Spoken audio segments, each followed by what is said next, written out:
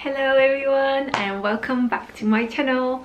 Uh, today I've got another video for you and this time we're talking about the differences between a Japanese university and university in Europe or like the West. Especially I'll be talking about the differences uh, between Belgian university, so my home university is Belgian one, and then um, the Japanese university I studied at because there are a lot of differences. So yeah, if you're interested, keep on watching. And don't forget to subscribe give a comment leave a comment and like. It will really help my channel out. And you know the youtube algorithm is really into um, likes and shares these days. So yeah if you could do that it would really help my channel out. Thank you. So without further ado let's jump in. So the first big difference between a Belgian university and some other European universities and Japanese universities is that there are no entrance exams. Um, in Belgium, when you graduate from high school, at least if you graduate from um, the higher level of high school, you can just enter uh, into university without taking any exams. You just need to go um, to the application center or something like that of the university to um, uh, to register as a student at that university. And uh, then you can choose your major freely. You don't need to pay any uh, fees just yet um, so yeah it's a very easy process I remember when I went to uh, register as a student at KU Leuven the entire process didn't take more than like 20 minutes or something and I even got like a sports card and culture card and all those extras with it so it's very easy. The only exception is um, if you want to study uh, medicine in Belgium, you will have to take an entrance exam. Um, that's to ensure that the students who will um, study medicine uh, a have like the necessary knowledge and intelligence to pursue these studies and two they will get through their first years without too much trouble. Uh, and on the other hand we have Japan which always has an entrance exams um, at the end of their high school career they take in uh, like a general um, exam on multiple kinds of topics and based on that they will get a grade. And some universities will accept grades from that level onwards while other ones are like a little bit more lenient and you can get into that university uh, more easily. And usually there's like even two exams. Like one is that general one that everyone takes at the end of high school and one is like an uh, entrance exam for a specific university you want to enter. So yeah university student uh, no high school students in uh, Japan have to study a lot, a lot, a lot. This is not to say that uh, Belgian university students don't study a lot because they have to study a lot too, but like the pressure is a little bit different and we usually don't study until um, 10 at night or like midnight every single school day. That's ridiculous. So yeah, that's the first difference. Then the second really big difference between Japanese universities and Belgian universities and even this is even quite different all over the world but that's the price of tuition. Um, Belgium has a really good education system actually and um, education is really affordable. Um, basically if if you are a university student you have to pay either uh, about 900 euros a year for like one entire academic year. 900 euros that's like maybe like a little bit more than a thousand dollars. And um, if you're like a student who is in a situation where it's economically difficult because of circumstances with your family or because of sickness and all those kinds of things then you um, only have to pay about hundred euros. So yeah it's like really really affordable even housing. So um, dormitories aren't that expensive in Belgium. Usually the prices vary from somewhere from 100 euros a month to like 500 euros a month but those are like really high end already and I know not not a lot of people have such expensive um, dorms. Yeah. While Japanese students um, they have to pay quite a lot. Like at least from my perspective they have to pay a lot of money to study a year. Uh, my boyfriend even he has to pay like almost 5,000 euros per semester. So that means like you have to pay that twice a year just to be a student there and like pay. And that won't won't consist of like prices like the fees you have to pay for your books or your transportation or the food you eat there. So yeah that's quite a lot of money. And uh, I, I still I do know this is still different from the uh, from other countries where uh, many people take student loans. But um, still it's a lot of money if you come from a country where getting a student loan is like something really uh, uncommon, it's really unheard of uh, and only in very special cases will you need to do that. Then difference number three. Wait, this is not free. Wait, this is free. I can't do free. Yeah, Okay, difference number three is the amount of classes that Japanese um, students have at university uh, versus the amount of classes Belgian students have at university. As I said before, like Japan has an entrance exam and people study really hard in high school but then I felt like it's just not because I was an, an exchange student but I also talked with some um, regular students and it seems like the, their workload at university is a lot less. Like you can hear them say often oh let's go play. Like although Belgian universities too they go out they have fun with friends they go eat something together. Their workload is crazy most of the time. Like oh my gosh. I remember when I uh, was in my first and second year of my bachelor's degree I virtually was working around the clock like the work would just never end. I would start like most of my classes would start at 9 in the morning so that means I would get up I would go to school um, like to my campus. I would have classes usually until 6 with like a one hour lunch break in between. Then I came home I did my homework like Belgian universities give a lot of homework. And like I studied until 10 and then like oh yeah I have to eat dinner. Like I eat dinner and then it's just like washing up and you go to bed. And it was every day again and even during the weekend I didn't have much time to do anything else. So yeah it was really really difficult. And because of that difficulty many people drop out in the first uh, few years. But then as you go on and you become an older student the workload becomes a little bit more manageable. And um, although it's still a lot of work it's more um, self-study so you work on your by yourself. And then while I was in Japan I only had like about 10 classes 10 hours of class a week maybe. Let's say yeah eight or nine classes are what I took. And I know Japanese students they usually take like three classes a day-ish sometimes a little bit more or less it just like depends on what they're studying. But uh, in general they don't really have to work that much. And also I feel like the contents of the um, classes are a little bit easier. Like this is not to um, to insult anyone or to insult the Japanese education system. Uh, I'm very sure that I'm really sure that there are very, really many good um, points about it. But just because the Belgian bachelors are three years and Japanese degrees are usually four years. I feel like they take it a little bit more slowly like they just have a little bit more relaxed schedule since they have four years to complete all of that information while three three year bachelors in belgium just cram everything into like those three years and just like very difficult.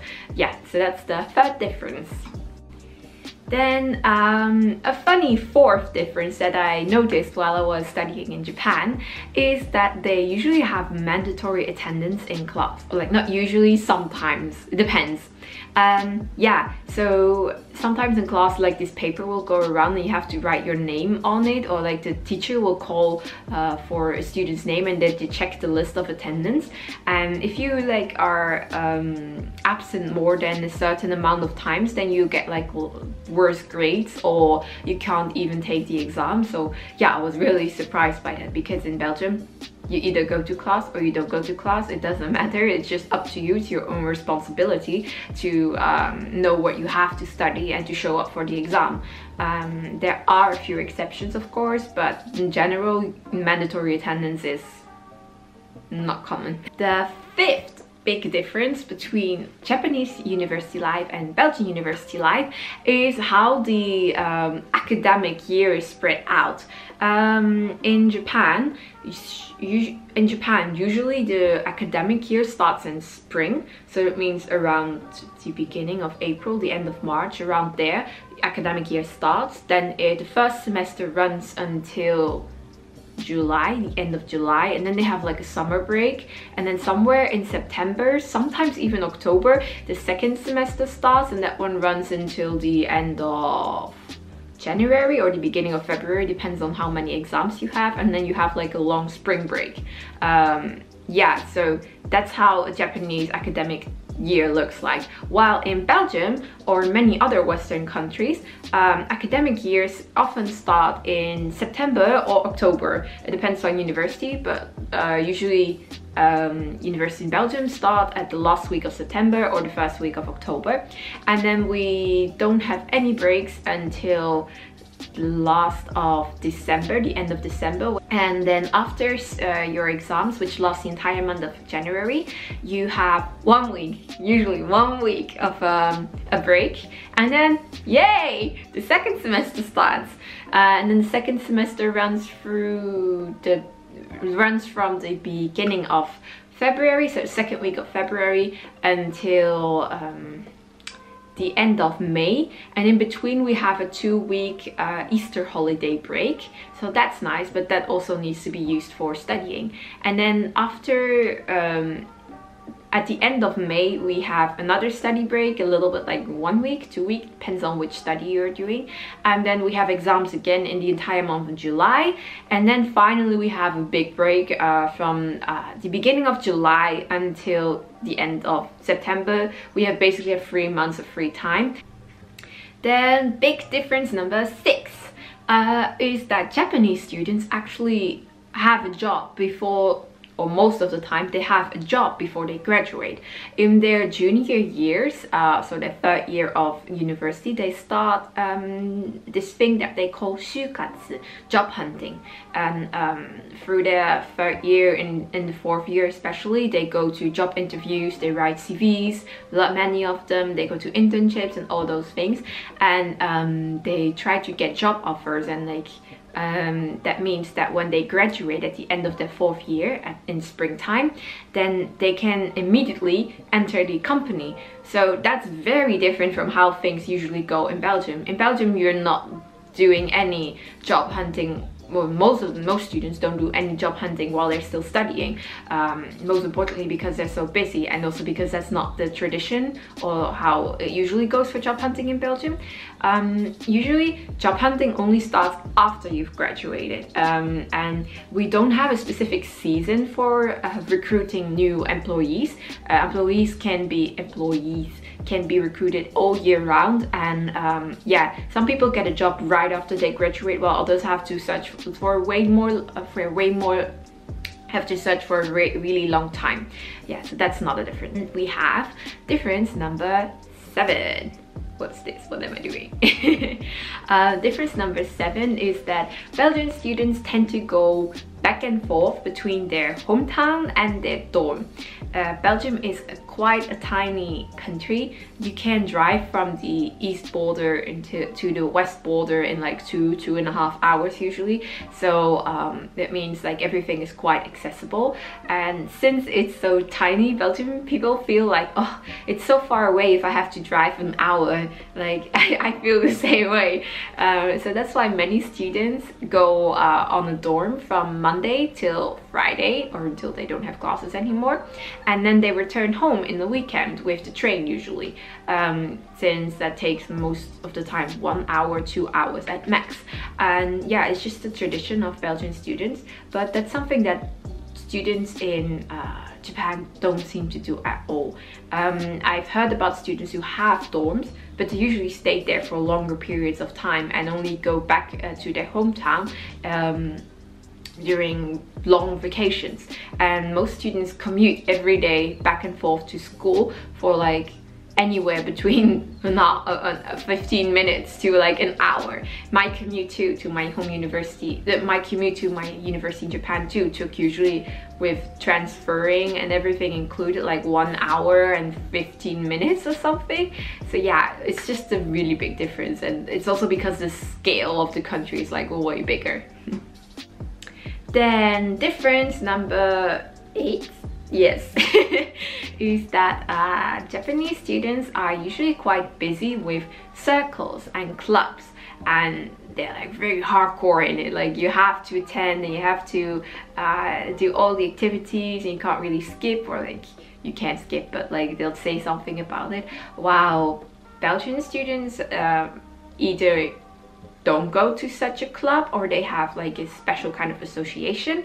But um, it's really not that like if you don't want to come one day or like it's not something it's not a daily thing. Like they might meet up once a week and they have a special activity like once a month or something but it's not as uh, in, intensive as in Japan. Then I would say that the difference number nine, can I still move my fingers? Yes, I can, is that uh, in Belgium, it's sometimes very arbitrary in what, lang what languages are used as a medium of teaching. Um, in Japan, I've heard people being taught in English or in Japanese most of the time and other languages if they're taking a language specific course. But in Belgium you sometimes get really confused like uh, a course which is uh, stated on the paper like it will be taught in Dutch. Like suddenly has like an, a, the professor who doesn't speak Dutch so he just teaches in like English. I've also had the case like a Belgian professor who does speak Dutch suddenly starts to teach the class in French. Like I don't know. It's just a really weird thing and last but not least, we've got difference number 10. difference number 10 is about class participation. Um, this is not to say that Japanese students don't participate in class. It's just a difference in uh, in customs in teaching. Um, Japanese students are more used to just sitting back and listening and paying respect to the teacher, like not questioning what they are saying. Um, so they won't really like like put their hands up and start asking questions by themselves and will only like start talking if they are addressed directly by the teacher. While Belgian students are a little bit more proactive I would say they if they don't understand something if they don't agree with something they'll just like raise their hand and then the teacher says yeah yeah what's your question? What do you want to say? And then we can have a discussion. And also uh, lectures are aren't usually really uh, based on just talking of the teacher. It's usually like a discussion between students and the teacher uh, and it's a little bit more active while in Japan you just need to sit and listen usually. So yeah those were 10 differences I noticed between Belgian European universities and then Japanese universities while I was studying abroad. Um, yeah, I hope you like these differences. If you're studying abroad too, please leave me a comment what you thought was different from your home university. Uh, yeah, it will really help my channel and please like uh, this video, give a big thumbs up and subscribe. So next week we have another in another uh, next week we have another interesting video coming up so definitely look forward to that. Thank you. See you next time